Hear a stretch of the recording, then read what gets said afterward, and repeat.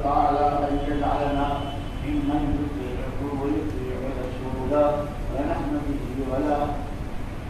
قال الله تبارك وتعالى يا أيها الناس اتقوا ربكم الذي خلقكم من نفس واحد وخلق منها زوجها وبث منهما رجالا كثيرا ونساء.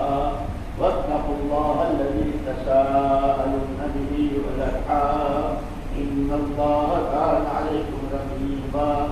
يا ايها الذين امنوا اتقوا الله حق تقاته ولا تموتن الا وأنتم مسلمون.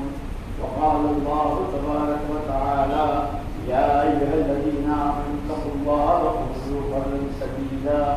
يصلح لكم اعمالكم ويغفر لكم ذنوبكم ومن يطع الله ورسوله فقد فاز فوزا عظيما وقال رسول الله صلى الله عليه يا معشر الشباب من استطاع منكم الباءة فليتزوج فإنه أغض للبصر وأحسن للفرد.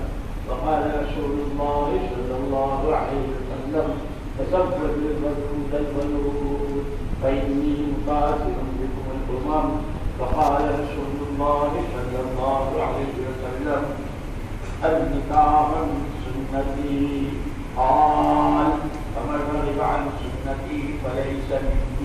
مني او كما قال عليه السلام भाई शमसुद्दीन साहब आप मुझे पीछे इजाजत दीजिए बीवी बनाकर मौलाना साहब की किताबें आप दे रहे हैं उस मेरे फातमा करेगा मौलाना साहब भाई शमसुद्दीन साहब की शहाजादी सना खान को बराबर मेरे बात उनके वालिद की वकालत से हाजिर मस्जिद आपके निकाह में बीवी बनाकर आप आपने उसको अपने निकाह में बीवी बनाकर कबूल की बारक अल्लाह मुबारक आले।